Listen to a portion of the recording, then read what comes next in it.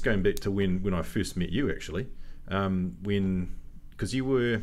Did, did you come out of? Were you a plumber by trade? I was a plumber by trade, but Yeah. when I met you, uh, I was working for Fletcher Construction Yeah, on site. Mm. Um, out at Stonefields there. yeah, that's right. And I was just doing really just entry level foreman stuff. I Mm. had done um, uh, part of a cadetship with them doing quantity surveying and did a diploma in quantity surveying as well after Mm. my plumbing. But I just didn't want to be in front of a computer all the time. So I Mm. just asked, hey, can I go? I'll finish the diploma off, but can I go outside and sort of learn a bit about construction management maybe? Mm. Um, and that's when I met you because Mm. you were coming in and starting to deal with um, Saltus and Yep. Yeah, a little bit of a handover, yeah, Yeah, yeah, yeah, that yeah. defecting, that handover. Yeah. But then I remember like um you you wanted to have a chat about building management because you thought oh let's get into building management. Yeah, that's right. You're glad you didn't now. I think yeah, and you sort of could tell them that it is that's a, it's a needy business, eh? Mm. Like you uh, got to be available for those people all the time. Yeah. Uh, but it allowed me to the guidance you gave me allowed me to take a step away from being employed Mm. or that just that cycle Mm. um, to go into trying to be self-employed or get Mm. into a business, be that way inclined. That's cool. Yeah, and that's what you gave me really was that Hmm. um, that bravery to go. It's okay, you know. Yeah. Mate. Well, Yeah. that, that, that's, that's quite awesome that. to hear, actually. Yeah. Um, Otherwise, I would have never done that yeah, because what you find if you go and ask someone uh, who's in an industry, I want to do the same thing as you, mm.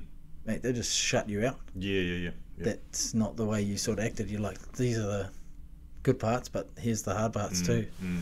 Yeah. Well, my thing is that we like I was, and I still am. I'm still about our industry needing. You need good people, Mm. um, and fuck far be it from me to tell anyone not to do what we're doing. Um, shit, if there, then there's lots of good people as um, you know in our industry now, and it's cool. But um, yeah, I just encourage people to get into it if they want to.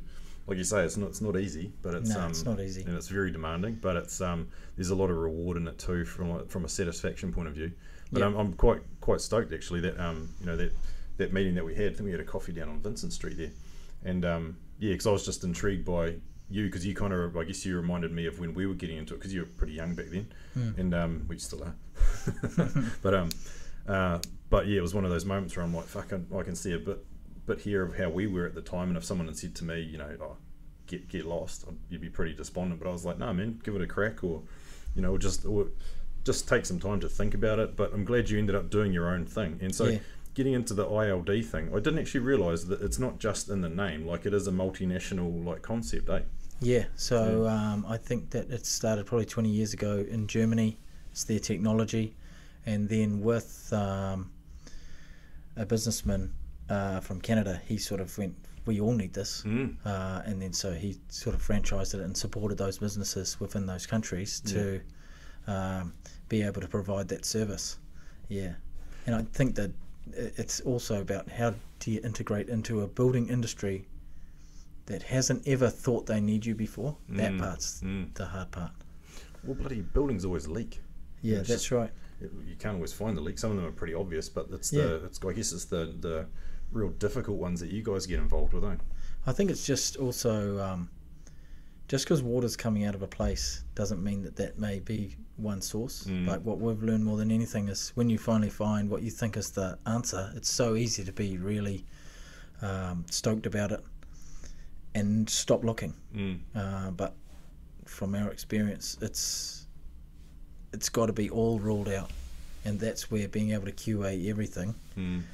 has been such a sort of uh, a gift to the industry that maybe isn't fully realised right now, but it will in time once it becomes part of the process, the way we do things, because we are already doing a form of what we do. So, council regulations, product specifications, the envelope engineers, so the facade engineers, they are all asking for some form of sign off. So, and these sign offs are based on ASTM standards, so world standards. There's a standard for flood testing, and there's a standard for electronic testing of membranes. And we are one of the multiple methods electrically that can be done. Mm.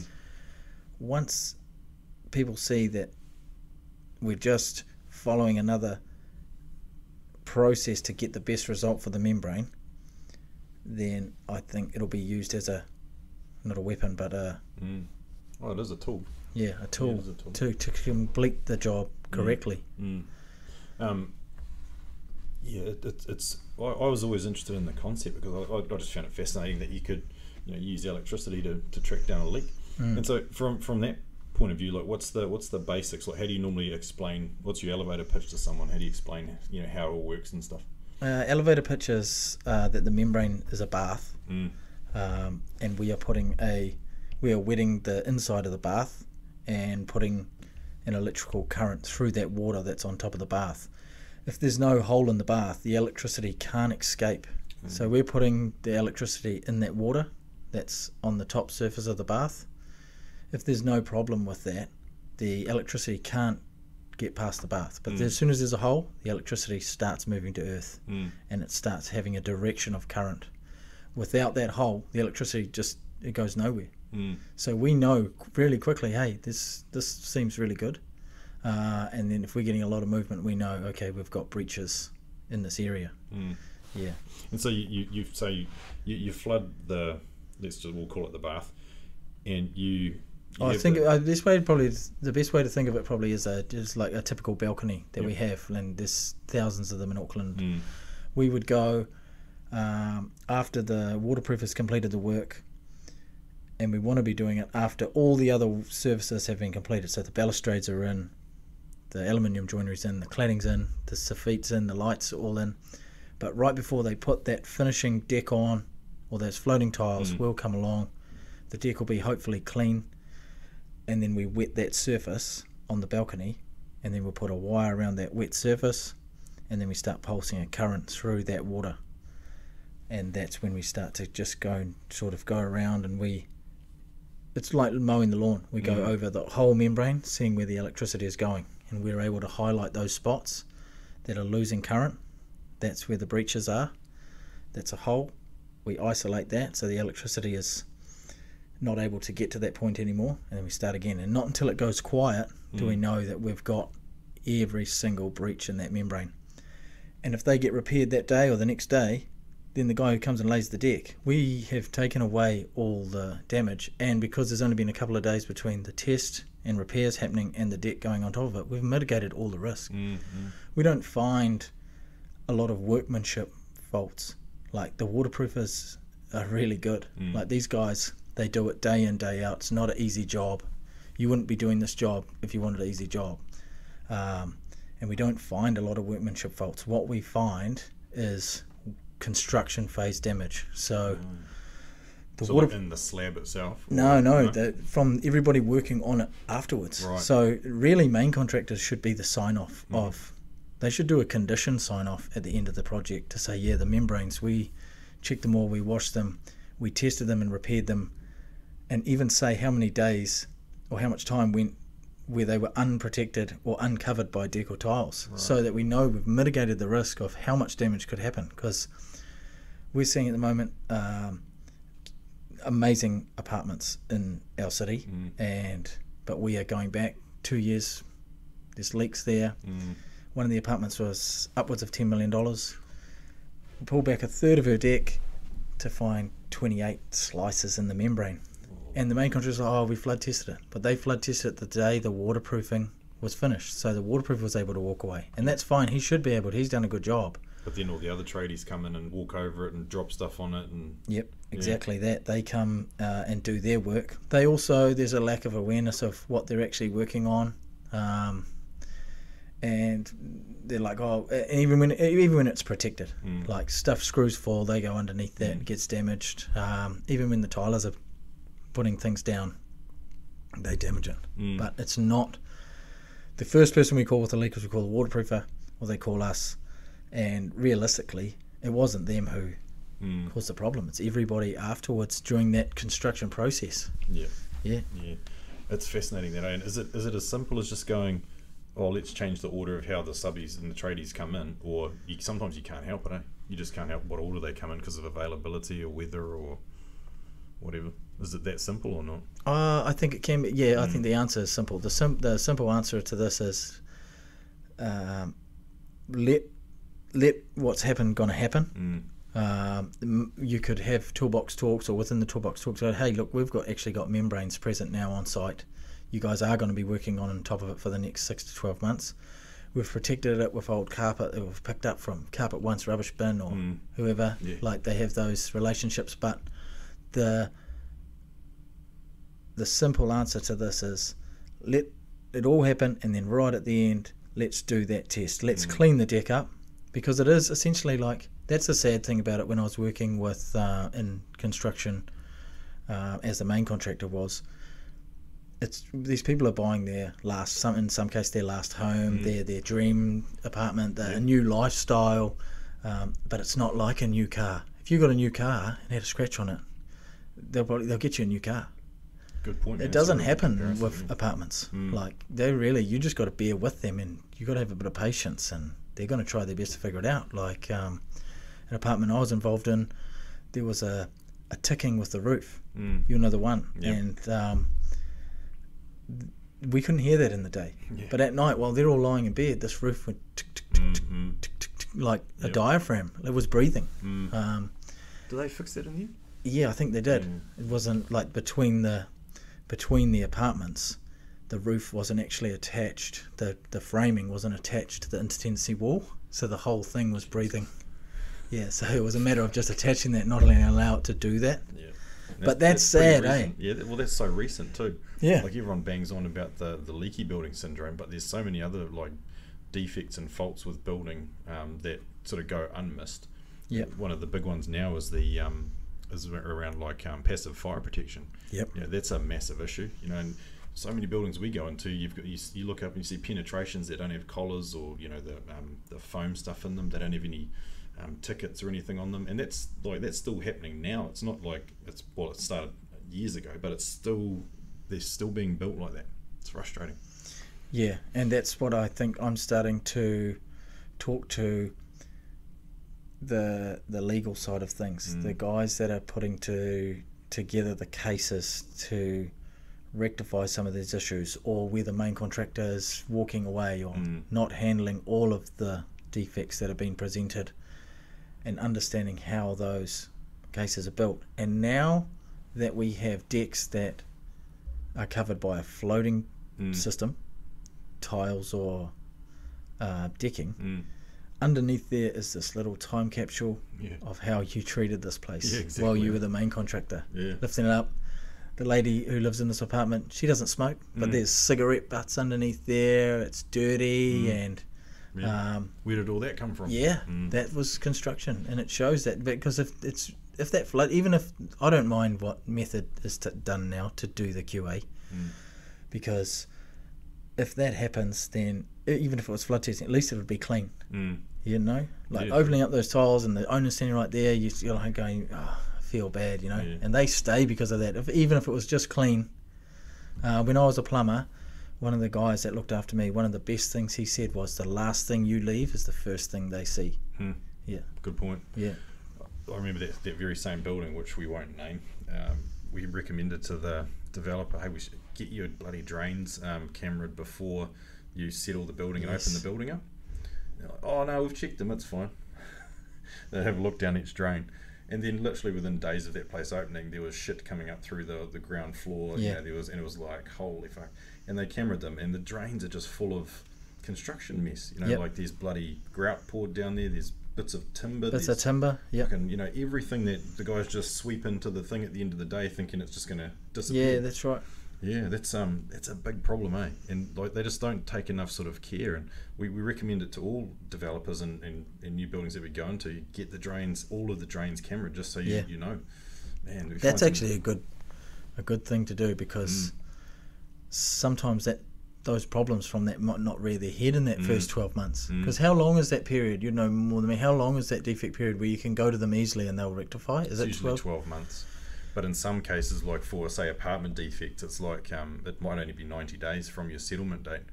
Um, but for the building, like that, that defect liability period is usually 12 months. Mm. Yeah, I think that's really harsh. Like Mm. when it comes to say something like a, a leak or something like that, you may have a really good winter and you don't actually experience Mm. uh, directionally what you might get, and then a couple of years later you do get that, Mm. and the apartment above you is leaking on you. Yeah. and then well, who do you go back to then? And they'll say, "Oh, it wasn't our problem. It's out of that time frame." It's out of that time frame when really the Consumers Act is you've got something should last 15 years. Mm. Yeah. Yeah, that's right. Um, so just going back a bit, like, how did you? Where did the opportunity come from for you to get involved with ILD? Like, how did you hear about it and go, "Shit, that, that sounds like it's for me"? Wh- Where did that all start?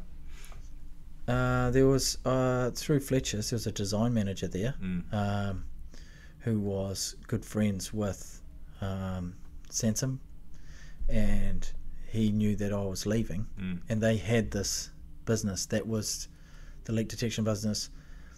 It wasn't bringing in much revenue, but it was a huge time. It took a lot. It took a lot of their time. Mm. So um, he introduced me to them, Mm. and they said, "Look, there is an opportunity here, but like it's it's you've got to try and work at it. You've got to Mm. try and work out where you fit."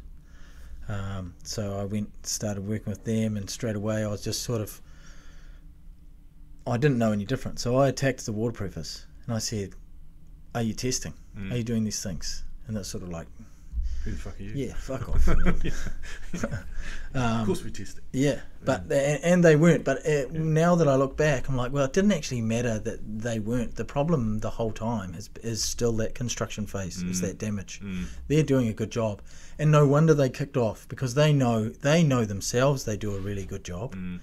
Uh, where we see waterproofing failures is the tricky details like construction joints and where they're um, joining big structures Mm. together and those sort of areas. But so I just started with them in the wrong area. But uh, slowly you find where you're supposed to go and started talking to the Membrane Association, and um, that's There's, a, membrane association. there is a waterproofing membrane association, and that is uh, I think that's all the different brands Mm. of products. They have tried to streamline and make because it's so easy for the waterproofer to always get the blame. blame, yeah. They are trying to protect their industry Mm. because they also know these guys are actually doing a really good job because the, they're making their money, they're selling the, well, they're putting the product down, Mm. and they're a direct representative of that brand. And so they had to go, look, we want everything sort of done this way. So there's a membrane code of practice. There's an underground tanking code of practice, which is in the, uh, yeah, it's there Yeah. and they and they and they are trying to get recognised on some aspects on some of their code of practice they're already recognised as an acceptable solution to the building code and it Mm. is needed um, so it's just going to see those sort of people Yeah. and then it took years to realise because really attacking the saying to the the distributors of the products the product suppliers Mm. you need to change your specification you need to enforce this but it's not them either Mm. so realizing that was a not so much of a dead end because lots of them they want the right thing to happen they can see that they Yep. also want to protect the waterproofers protect themselves um, Yeah. mm, It's so many so many products are not um, not used correctly. Yeah. You know, like um, paint is one. You know, you get the the resin or whoever makes the paint, and it's bloody specified this, and then the applicators get in there and they might water it down a bit, or they don't put apply it Yep. properly. And you know, then everyone goes, "Oh, the paint's shit," and it's like, well, it's not shit. The the people that put it on didn't apply it according to the specification. yeah that's right Yeah, another good example of that in the plumbing industry is that you know that green Fusiotherm pipe. Yeah, that yeah. got a hard time for a long time, and it's like, oh, that fucking green pipe again, and there's the problem. And they they, they did all this all these case studies on it, and it, it turns out it's not the pipe's problem; it was the people installing it. Like they were installing it, using it in, in situations where it wasn't um, like it shouldn't be used for hot water. And we had people using it for hot water, and you know they weren't doing the joins properly, and you know that comes down to um, that applicator yeah the applicator. Yeah. yeah. oh and that's all good the products are like these products for them to get to us in new zealand Mm.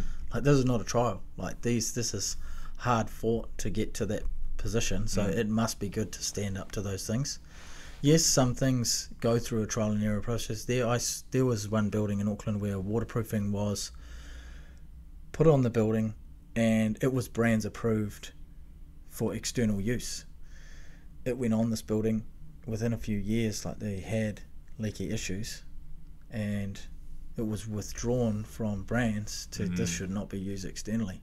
Mm.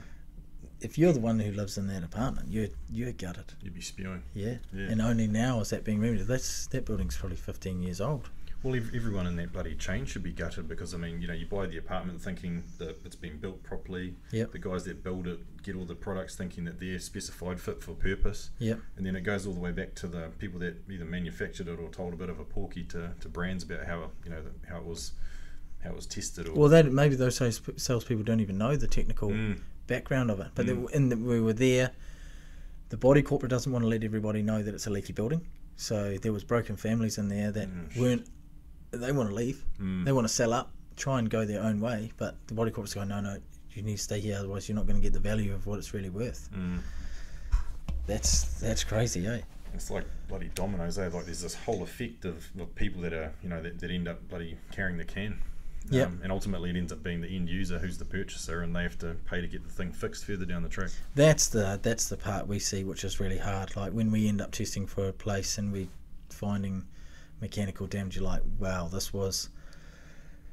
Whether it was tested or not, it was seen as a tick box exercise. But really, if it was done at the right time, Mm. um, this Mm. wouldn't be here. These people wouldn't have these real basic issues. Yep. Yeah. Fucking, like you say, there are basic issues. Eh? Like it is that that whole process of um, you know once the membrane's gone down, it's all it's protecting it. You know, it's not. Yeah. It shouldn't be hard. No, Um, it shouldn't be hard. Yeah. And it's like nobody's immune. Nobody um, is immune from this. It's not Mm. like uh, it's the the balustrade guys or the, these guys are rougher than other trades. Like Mm. the the director of the construction company turns up in his RM Williams boots and he's got a sharp stone on it, Yeah. and he goes out to look at his big development.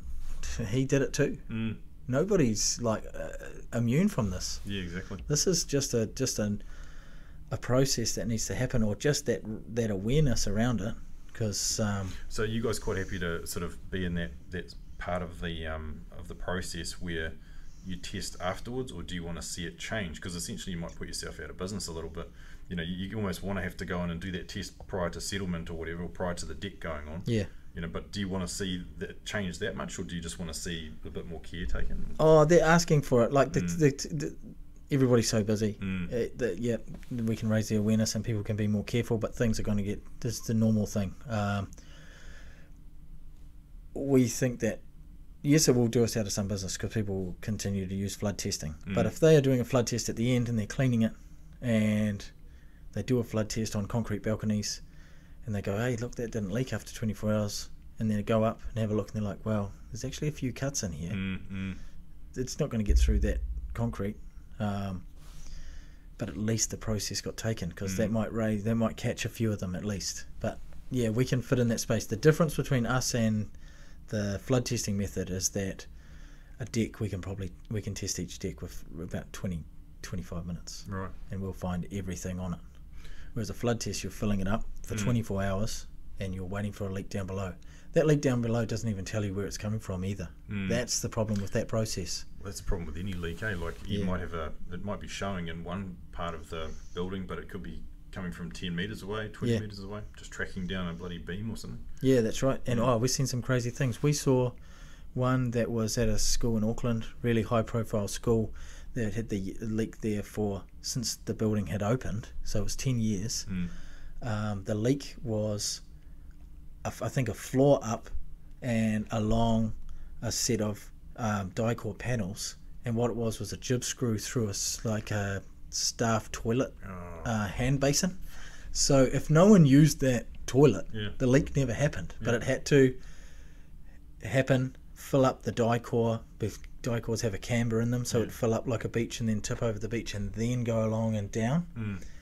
But it only happened when someone used It only happened if that was system. used enough. Yeah, yeah. But because it wasn't the girls' toilets, what got used every day, Mm. it was random. Oh, that's Yeah. China. The investigation side must be quite fascinating, eh? Like, yeah. Niggly, like Yeah. they've always have some real battles, but Mm. there hasn't been too many that we haven't been able to Mm. find. Like they're pretty, it's pretty cool when you find them. Yeah, there's a lot of time wasted, and there's not a lot of chargeable time sometimes with the finding. Mm. That's why, um, yeah, that's a different side of the business. Like we can rule out the membrane. We can go, yeah, the membrane's good, or here's these issues, fix those, see if you still have it. Mm. Um, and then just through us doing it so much and that plumbing experience, you can go, oh, give this a try. We think from what we're looking at that it's along here or Mm. yeah, and we you you get better at it just through being more and more open minded because I've seen Yeah. water do some Crazy. pretty fucked up things, eh? Start flying uphill. Yeah, yeah. If you put two pieces of glass together Yeah. in a bucket, it'll climb all the way out of the water, out of the like, yeah. capillary. Capillary, yeah, yeah, that's it. capillarization. The um the actual concept itself of the of the um what do you guys call it electric um electric field vector mapping EFVM. that's the one EFVM. Who did who developed that? Like where the hell did that come from? I I, I believe playing around in the bath with a toaster. Ah, yeah, well, that's the other thing. People get up there wondering what you're doing up Yeah. there because it does look like we're skiing on Mm. your deck. Um, but I think it's a German process. I think that what came from um, there's another process which is where they test welding um, called holiday testing, and that's putting current through uh, welds to I think it sees the consistency of them or Oh, test yeah. the stop start to make Mm. sure that the weld continued uh, as it should Yeah. and then realizing that that could be used to test membrane, they must have had an issue over there or Mm, um, something. Some really clever fellas put that together. mm, But then there was always this this stop of, okay, that's good for concrete uh, concrete covered by membrane because we see that as conductive. We call it conductive. Everyone's going to say no, it's not. But we are finding a potential difference. It's conductive enough Yep. for us to find it. So people go, well, what about plywood? And someone sitting in an office in Auckland was looking at one of those safety windows, you know, safety windows that have the wire Oh, in the window. yeah, and he was like, why yeah. don't we put a stainless steel mesh below the membrane on the plywood? And that'll be our conductive substrate on the. Plywood areas. And that's how we realised we could test. Um, and cool. then ILD worldwide adopted that. And so how many how many different like franchises are there around around the globe? I think there's at least 15. Shit. Okay. Yeah, 15, 20, but they cover a lot of range, just like we cover all of New Zealand. Yeah. Like they're covering big. So you might like, have to cover half of Australia, or you got a, or, or a big city or something. Yeah, like we'll go and help out in Australia. Yeah. Um, yeah, so if there was anything in the islands, we'd go to the islands. Mm. Yeah.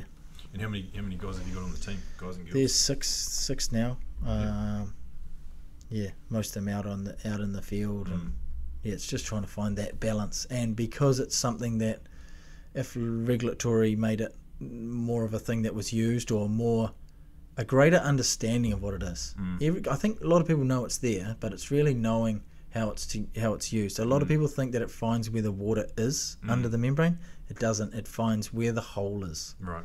That's where the electrical loss is at the hole. Mm.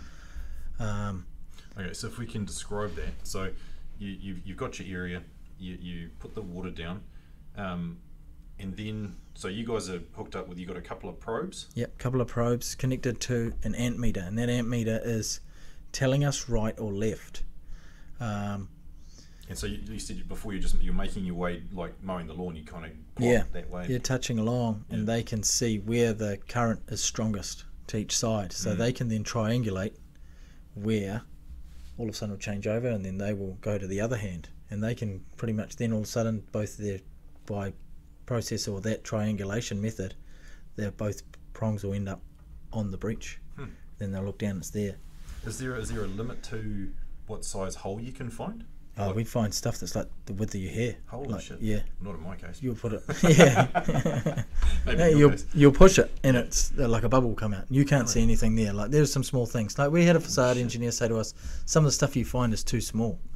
I was like, that's a Making weird a thing to say, man. What does it matter? Yeah. Like the other thing is we don't find big or small. It's just yes or no, Yeah, true. which is really good. Like, and it's not our opinion. It's it's the technology. Just someone knows how to drive it. Yep.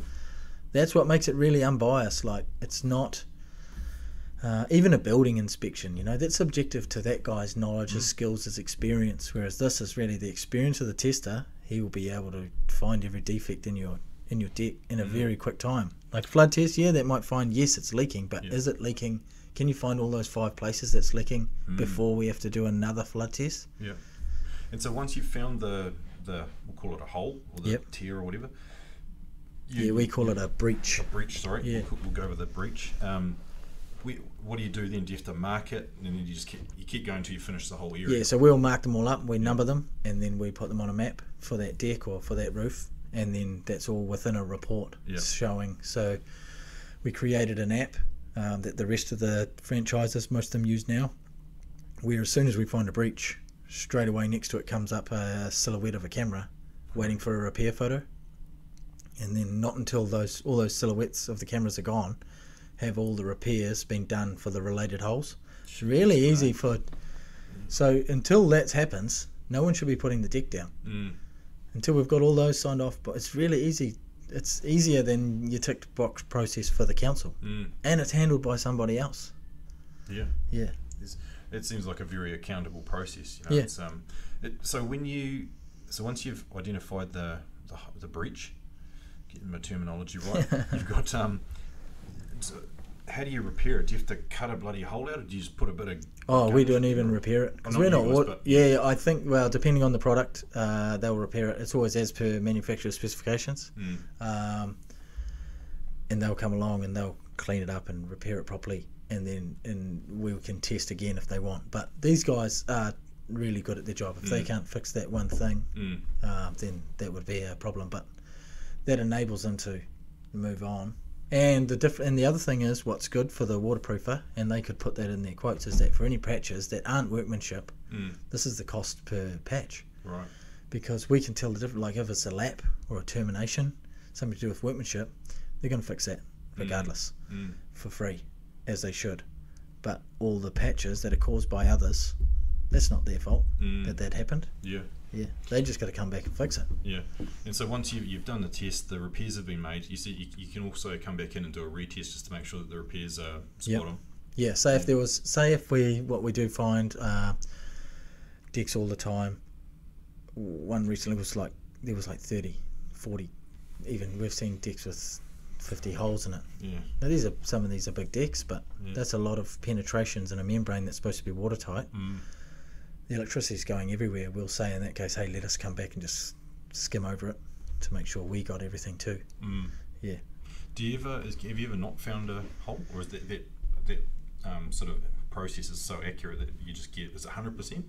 Uh, we've had a problem in Wellington. Mm. Actually, there was this huge planter box, and Oh, bloody planter box. planter box, yeah, because of the two layer Yeah. system. Once the pressure of the water got enough, it would go through the first layer, and was able to get in through the first layer somewhere else. But it had to be.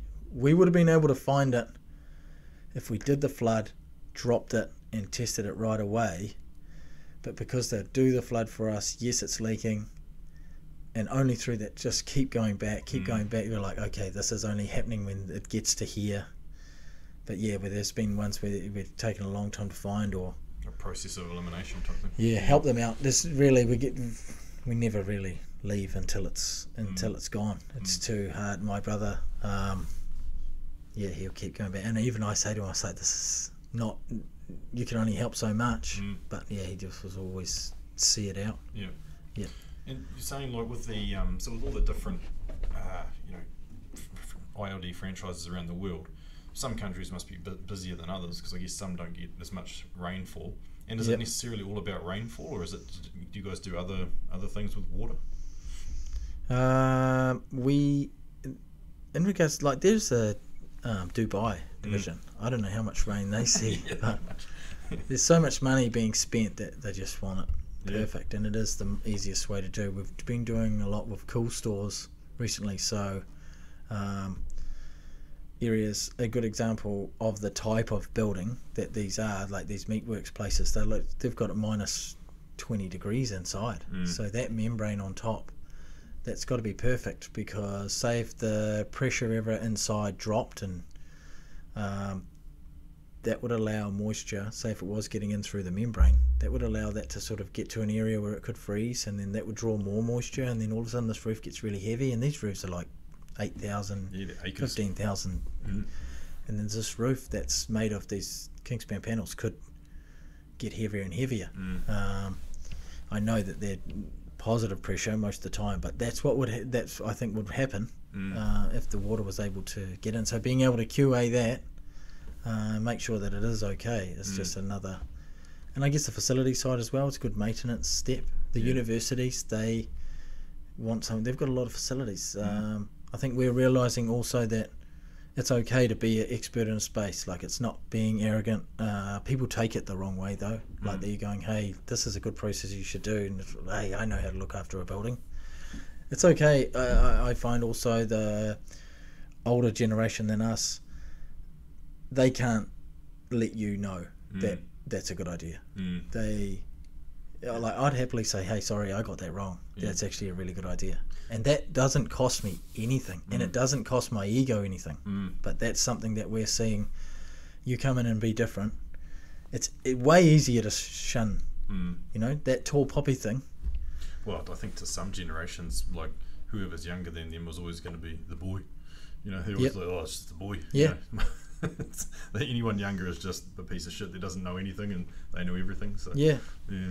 and how I think that that Taika Waititi, like there was something in the paper recently where he was a hero to all Mm. for ages, and now um, he's with famous wife and all Mm. these things, and sort of everyone's sort of had too too much. So all of a Mm, sudden they mm. turn on him, and Yeah. he's something different now. It's Yeah. a negative, has a negative connotation, and you're like, what's what what's changed? Give he's the guy a still this, eh? yeah. Give Yeah. him a break. Yeah, he's just entering that next stratosphere of, of fame and that because Yeah. well, when you're that good at what you do, you know, Yeah. it was always like he always did the certain level of movie. Then I think after he did like, you know, Ragnarok was like awesome. Then he did another one with um, the most recent Thor. He's going to do Star Wars, so he's just fucking real good at what he does. And Kiwis just love having someone to shoot down. Eh? Yeah, Yeah. it's easy, eh? It sucks, it's yeah. easy picking. Look up, Yeah. see that plane knocked. Yeah, it'd be good to get rid of there. And look, he's a, he couldn't be a ni- he couldn't be a more humble Mm. person. He's still a bloody Kiwi boy at the end of the day. Yeah. Fucking give him a break. Um, can can you test on um, vertical? Verticals, yeah, yeah. Wherever water, so water has a tension. Like it can to area to different membranes like this here. The water would bead. It wouldn't Mm. sort of have a clean film. So we would add soap to it, and that breaks down that tension, and then water will actually sit flat against the surface, and we can just put electricity through that water. So we would have our generator wire at the bottom, and that would just pulse electricity up through the water, sticking to the wall. Mm. So we've tested um, CRL. There's tunnels uh, in Wellington that we tested before they do all the backfill around it. Mm. Yeah. Have you been into into the tunnels? Yeah, yeah, been in there. Is that pretty cool? Yeah, yeah, that's Yeah. pretty. It's huge. Yeah, Nice. Fuck, that'd be a good contract to get, wouldn't it? Yeah, it was hard. Some of the areas that we're testing, so the train tunnels come and turn underneath that commercial bay, Mm. and under there you have the tunnels, but around those tunnels is more structure. Mm. So those tunnels are within a giant uh, garage, essentially, and we were working between. So those tunnels are waterproofed because that's below sea level, Yeah. and Yeah. we were in there testing, and sometimes was you can't stand up. Yeah, we had some pretty pretty tough fillies in there. That Yeah, yeah. yeah, they, But you'd be like, that's pretty cool being in like places like that that no one else would ever go into Nah. stuff. that's Yeah, right. Yeah. Really, You can say you've been there, done that. yeah, been there, done that. Yeah. weren't not not keen to go back in there. and some of the places are so small. Ugh. Yeah, It's like those, those bloody kids that got stuck in that cave over in Thailand when it flooded and stuff like that, and you know how they had to. they yeah, they made a Netflix Yeah. documentary of that. eh? That was interesting, man. Oh, did you watch that? Yeah, and I felt claustrophobic sitting on my couch watching Yeah. it. Yeah, it was, it was good though. Yeah, but yeah, they could have done with a bit of leak detection around those caves at some stage. Yeah. Oh, that was How do you like with your team? So you got, you got about six six on the team now. Um, how do you where do you find these people from? Like, are they a certain type of? Have they been in a trade before, or like yourself, have they been like in, in the plumbing industry? Where do they come from? Uh, my brother is a he was a school teacher. Mm. Um, Is he younger than you? a you? lot of cricketers. Yeah. So you Yes. just said, hey mate, get in here. Yeah, I said, look, when you come back from had an OE, said come, you can work here, work out what you want to do, or where you want to go back to teach or whatever. Mm. And then we just sort of worked into it. And Mm. he also had a business opportunity with um, civil products, so manhole lids and water meter chambers and uh, electrical chambers. Mm. This is big things that go on the footpath and in the road. Yep. Um, so he said, "Look, if you help me develop this, I want to give you some of that, and I'll buy." So there was three of us that worked together and sort of went, "Look, let's. We don't want to keep timesheets Mm. on different. This this business is making a little bit of money and can turn over and support while this one works. Mm. Let's all have even shares in it, Mm. and we'll just try and do both. Mm. And good on you, man. you can't make. Mm. Sometimes it's like you can't give both things 100%. You're Mm. like trying to make everything happen, but you're just maybe doing five things really shit. Mm. And sometimes you've got to focus on one. And that's where slowly having more staff and just having people that we've had so many different staff, Mm. and then it's really about the trying to create. You'll know, trying to create a culture. Eh? Mm. Culture is almost more important than than anything. People will work for money, but if they're not happy, Yeah. um, you you you can feel that the moment they walk Mm. in the door. You know that they that's going to be a shit day with them. Mm, mm. Oh, tell me about it. Yeah, it's it, it's it's exactly right. I, I like the fact that you guys have sort of you've got a there's a little group of you that are you know operating several businesses though. That's a that's a cool move, and you know Yeah, shit, who knows where they'll go or if they can sort of you know feed off each other and that sort of thing. yeah. It feels scary. It Mm. feels scary. Um, it is a bit of you. It is a bit of trust in the process, eh? mm. And and the other thing about being creating businesses is is that process even right? But I'm happy to change Yeah. if it's not right there. Mm, Yeah, like a lot of that stuff I was talking about before, where I was really pushing on waterproofers, pushing. I even do it now with facade engineers. Like, I'm calling them to go, hey, is this the right process? You guys are the ones saying when this should be tested or how it should be tested. mm, They're going, oh, we can only provide advice mm. to the builders. Well, not really. The council wants you to tell them how to do it. Yeah. Otherwise, you wouldn't be here. We don't need another advisor. We've Mm. got enough of those people. Yeah. We've got we've got checkers checking checkers. Tell us what to do. Exactly. Yeah. Yeah. I remember. Yeah, we were at a sort of point. We were probably about five years in, and I used to sit down with a mate who's got a business, and I used to say, "Do you think we're doing this right?" And he's like, "Well, you must be. You're still bloody in business, and you, you know, you know, turnovers increasing and profits Yeah. are there, and so at some point you've you, you yeah, it's that little. I agree, man. Like what you just said there about that little bit of unknown where you go, "Shit, is this actually how we're supposed to be doing this business?" Yeah. And it, in some ways, I don't actually think there's a right or wrong answer to that. You know, it's just like, fuck, is it working? Yep. Is there money coming in? Yep. People happy? Yep. Someone said to me, "It's like, hey, if you're paying tax, paying tax, yeah, Yeah. you're doing something right. Yes. No. Yeah, it doesn't feel good, Yeah, but yeah, yeah. yeah. Well, it's not much good if you're claiming your GST every month. I mean, yeah, if you if you're making money, you, you're, you're paying money to the government. You know, if, if Yep. you're not making money, you're uh, getting rebates and, and refunds and all that sort of thing. yeah, we're always trying to get some of those. Yeah, Like, sometimes that's they're handy. I'll say, yeah, that's right. yeah, yeah. Oh, that's cool. And so I guess like um, as a, as a journey into a like a new concept goes, like that that must have been. Did you even realise you were taking a like a, a, a risk? Was it a calculated risk? There was no calculation there. I actually, what I, Yeah. when I met you, Yeah, I handed in my notice. yeah. I leased a Ford Ranger straight away. Fuck. What a dough up that was. Yeah. I bought a computer, yeah. and then I sat there with nothing to do on the fucking computer. I was like, I'm in business, and all my mates are going to work, and I'm just Yeah. like, fuck, I've got to do something, man. Yeah. And that's when I would have been talking to you, going, hey, Mm. and you're like, it's all right, Mm. because it didn't feel, it didn't feel right, because Mm. you're like, I'm not doing anything. And so what I did was um, something that I always owe a debt to, like yourself, is um, Craig Blakey. He has Marion Construction. He allowed me to go and work on his yards and pursue the things I was trying to achieve. Uh, or get into that building management thing, still not really knowing what I was Mm, doing. And he mm. allowed me to work on the yards, and I was oiling things like um, scaffolding stuff and back prop feet, and just doing this bottom of the heap Mm. jobs. Mm. But the people I worked with, um, one of them was an ex gang member, and one of them like had was now doing this after being involved in greyhounds. Like, Mm. just I enjoy all those people. They've Yeah, all got a story, got a and then story. you learn something off them. Mm. Um, it's working out what to keep and what not Yeah. to keep. And he allowed me to keep an income coming Mm. and keep that part of it because that's the when there's no money there that is a huge that's a loud voice Mm.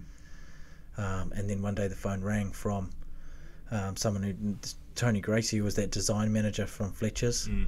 um, and he said hey look these guys there's something you should come and have a look at it Mm. your plumbing might fit into it um, That's pretty cool though. Eh? Like you know, it's not like you you didn't buy a business. Well, I don't know if you did, but you know, you just No. kind of an opportunity. oh I did buy it was already running Yeah. yeah it was already running but it was maybe turning over 100k or something like that Yeah. um, But you you know, know- you took a you took a bit of a gamble, bit of Yeah. a risk, and dived into something. So how, how many years ago was that now? that was about eight years ago Yeah. yeah. Okay, and did it and realized that there's something there. Like I- I think that this Mm. can go somewhere. It does have a place here. It's not a.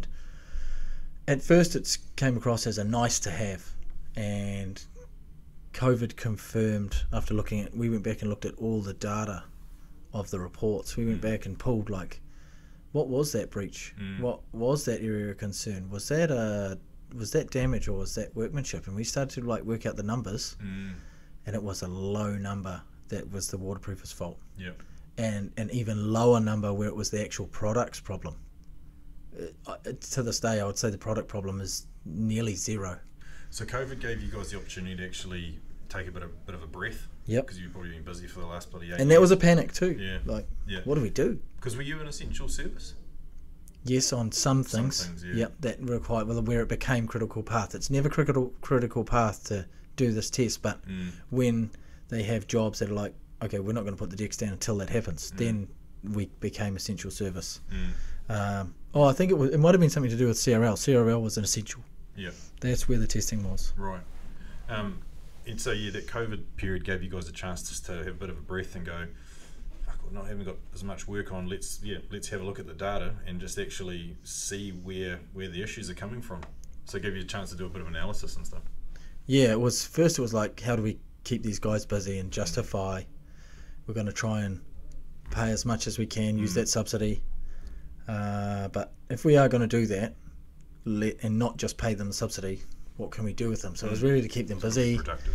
But then started to see a pattern. This Mm. pattern came out, and it sort of strengthened the resolve of everybody after COVID in regards to sales as well. Go, hey, look, this is actually we're we're making big mistake in this construction industry by missing this stuff Mm, mm. by just using this as a tick box exercise, we are making we are missing a beat here.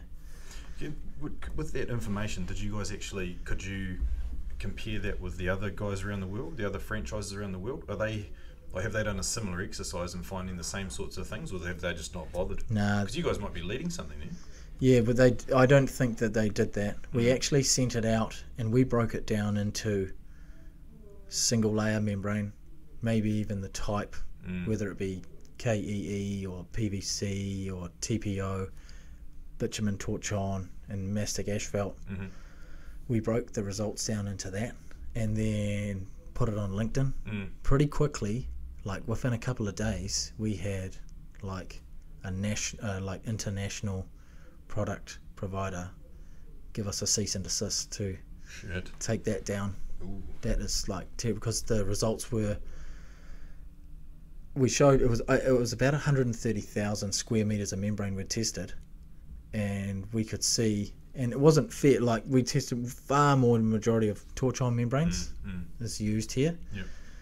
And the single layer stuff, we'd only tested a lesser portion of it, but some of the jobs were involved with they got trashed, Mm. absolutely trashed by the main contractors. So nothing to do with the actual product, apart from it just can't handle a continuous hiding like that Yeah. for for 18 months. Yeah.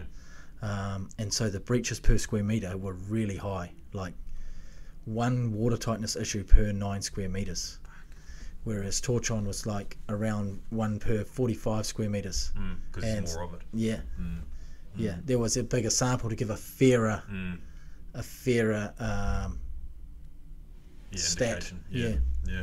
Man, man, that's interesting, eh? Like, and the the the fascinating thing that you guys are part of a, like a, a like a global um, business, and there's must be so so much opportunity there to actually you know collaborate with them and because I guess every country's ILD would be slightly different based on building methods, Yeah. um, con, you know, construction methods, like the, laws around construction, like in the weather. yep. Yeah. Yeah. the regulation. Um, they, I think they're getting better. I Mm. think that the head franchise they realise that they need to. We've got to support these businesses, um, and they're trying to get people together. Mm. Uh, but also, I think they realise that getting the heads together, the owners of all the business, for to have a bit of a conference and a la di da and a bit of a piss up maybe isn't that beneficial. So what they try and do is they try and have these. Um, at the moment, there's Zoom catch ups, and sometimes the the actual testers are involved because when we spend time with Australia's testers, they learn our guys learn so much, Mm. and we teach them so much, and different methods and um, testing on different surfaces. Mm. in Auckland, we've got a lot of direct stick tiles on balconies in those older buildings. Yep. That hid all the Mm. that hid all the stuff that all the trashing that went on Mm. bef- when before people walked away. Now those floating tiles, this is just sitting right there. Yeah.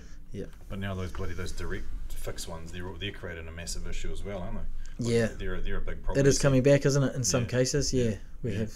And they're all sort of all built in that nineties to early early two thousands time. Yep. Yeah, we're seeing there's a lot of buildings that still have those where they're, you know, they're bloody having to rip them up and put these floating, you know, the, the pallet sort of the Yep. jack type things with the floating tiles and stuff, and yeah, put the membrane down underneath, and it's still happening a lot. Yeah, yeah, it is. Mm. It is. Yeah, and that's gonna. This we haven't even got to all the ones that are still there to come. You know, where Mm. people are still complaining to their body corporate, and Mm.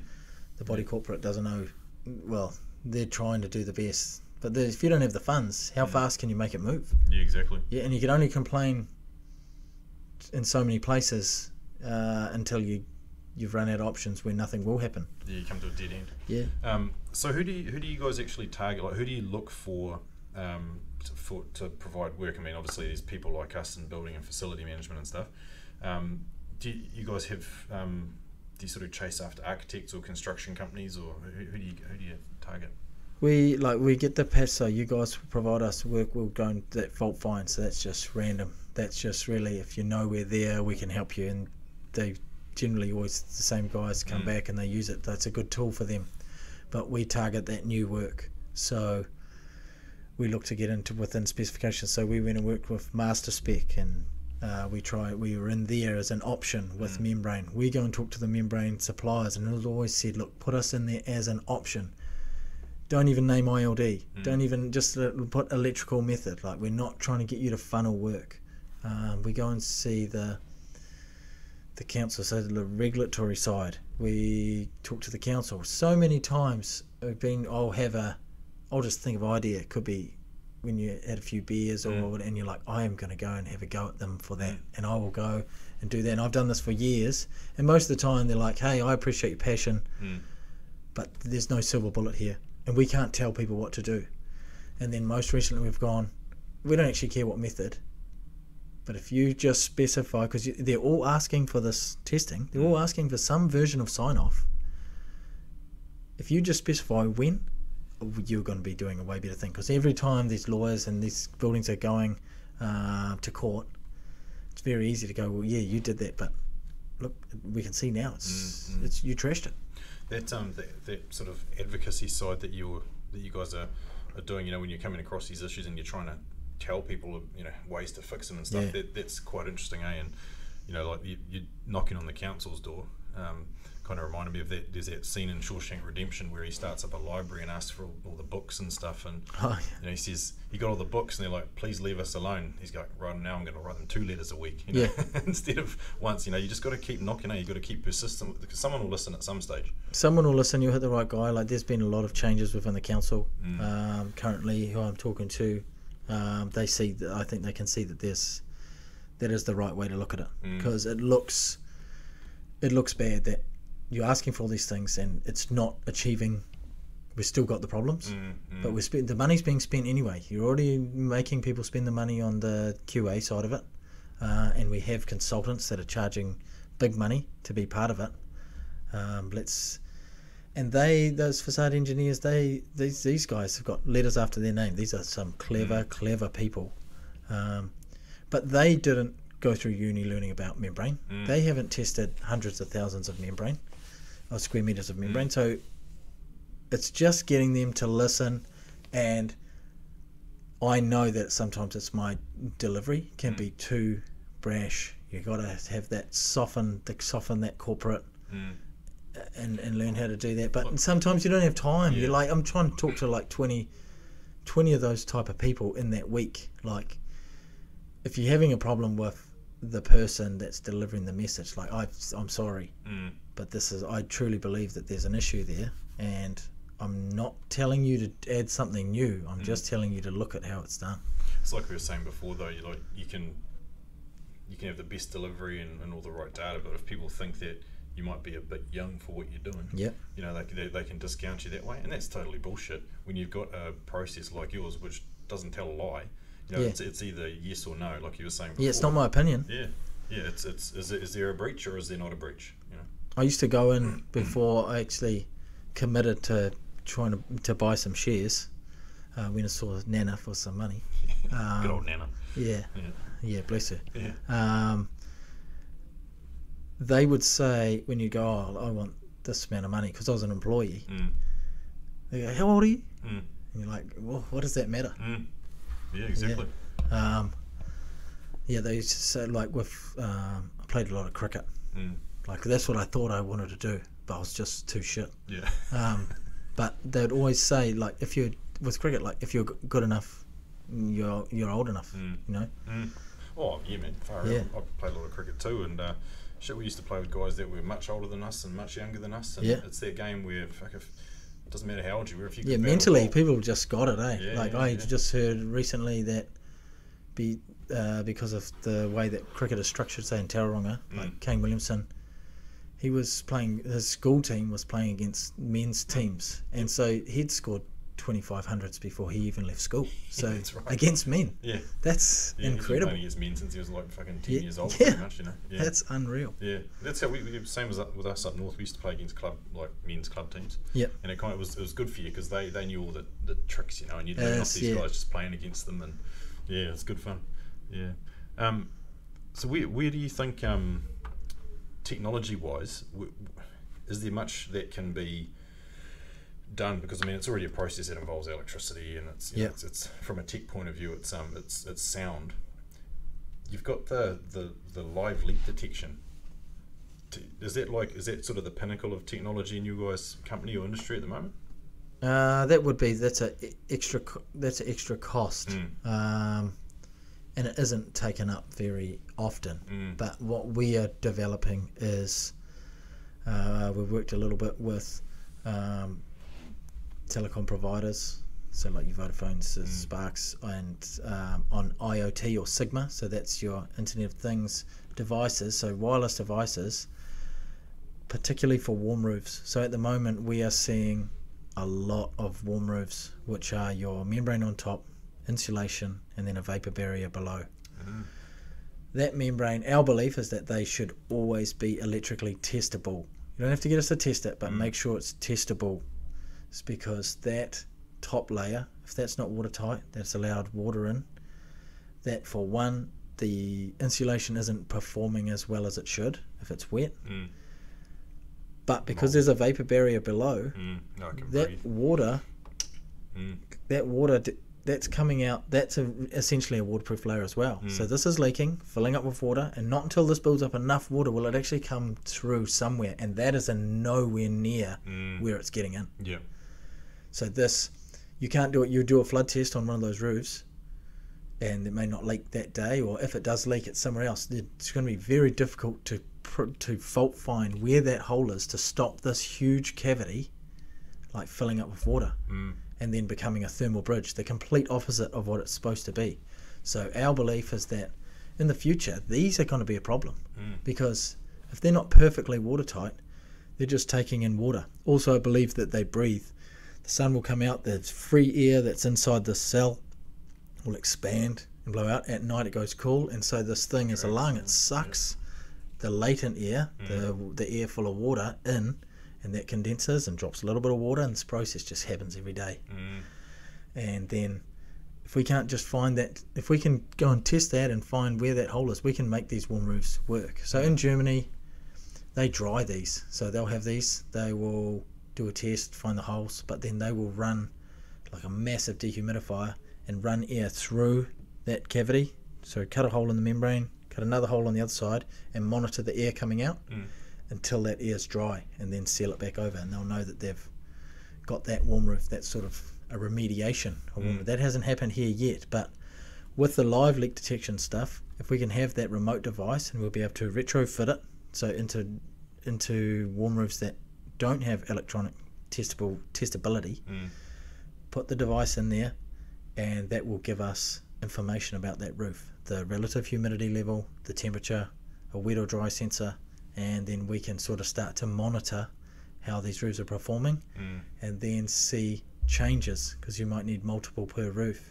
this one's performing different. Oh, I think we've got a leak here, you know, and s- learn to set the boundaries. It's a bit of an experiment, Mm. but with the knowledge that's out there, with building survey, uh, building facade engineers and those those guys want to do tests. You know, they want to build these apparatuses, and we'll put our we'll put our sensors in there and Yeah, see yeah. see how like what the limits should be. But there is yeah, that's the way I think it's got to go for if we're going to keep building like that. Mm. Like you,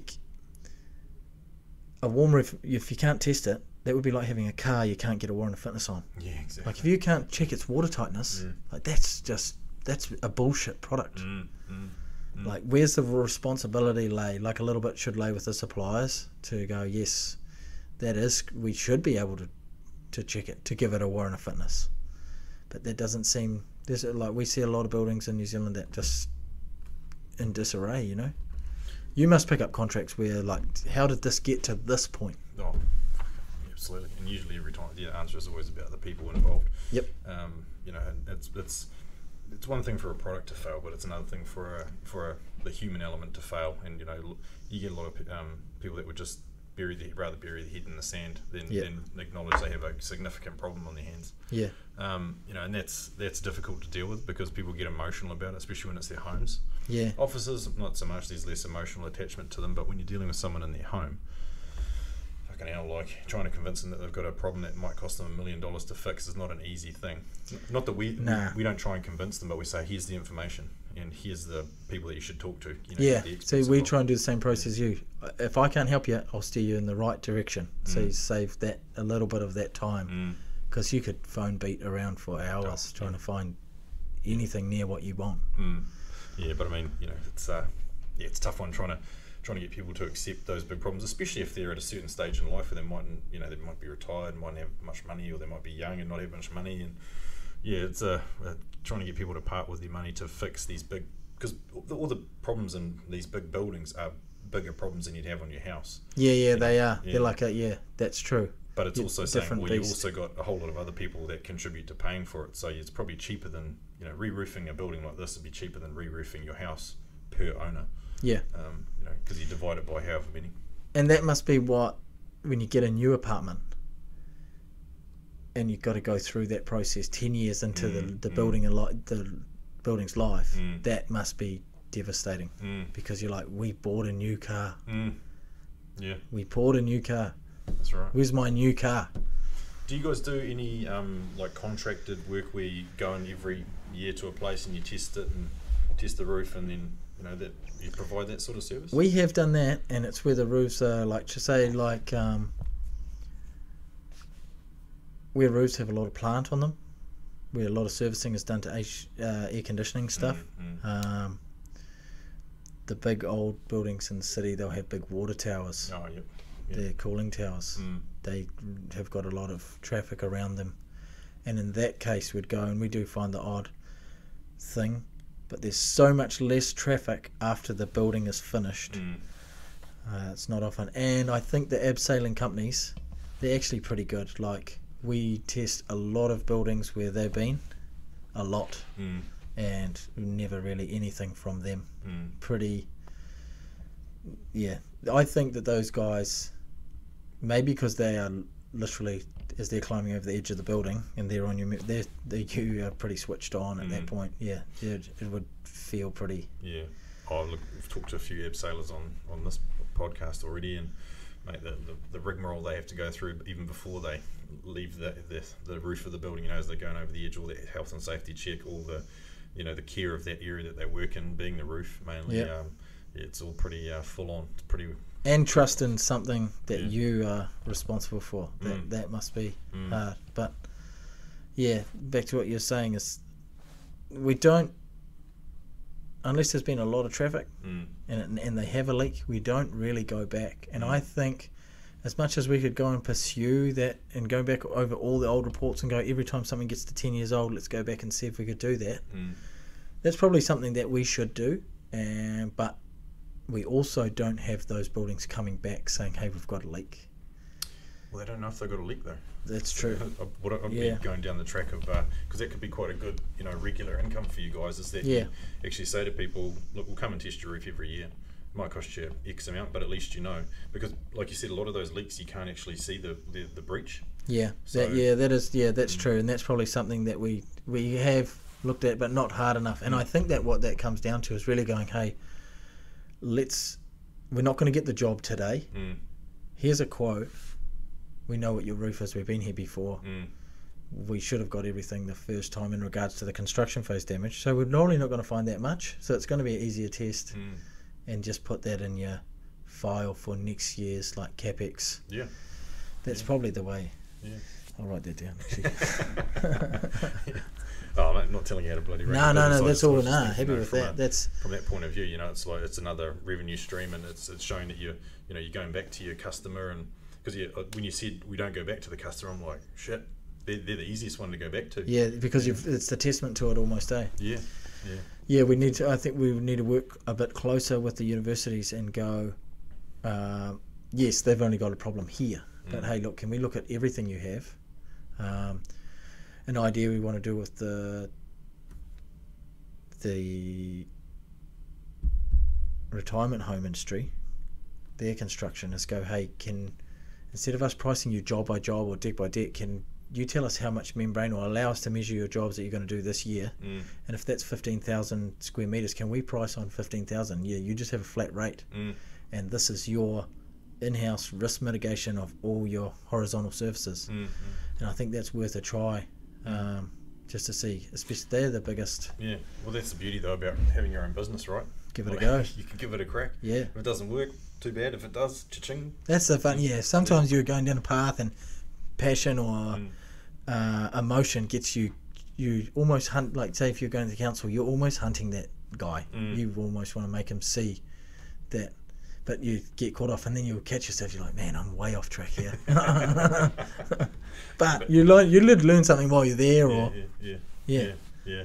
No, it's cool, man. I think it, like it's a bloody great service, and like it's, it's been awesome to see you, you know, get into it and, and grow that business, and you know, start to grow that awareness around what you're doing.